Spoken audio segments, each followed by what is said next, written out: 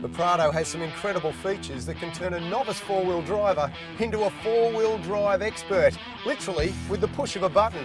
In fact, this car has some of the most advanced off-road features in its class.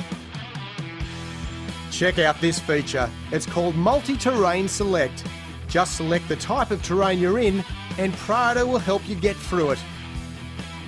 Rookie four-wheel drivers can sometimes find it a bit tough tackling different types of terrain. A lack of momentum will get you stuck and too much accelerator can cause wheel spin and loss of control. Different terrains require different approaches. Some terrains offer a high level of grip, whilst others offer next to no grip.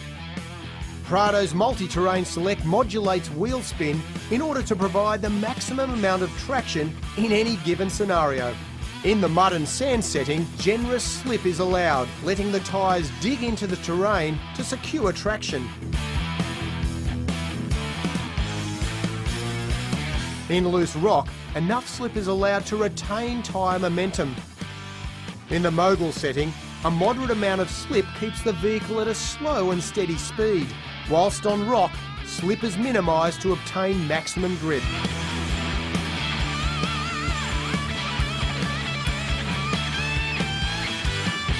So this great feature allows Prado to help you through many tough situations.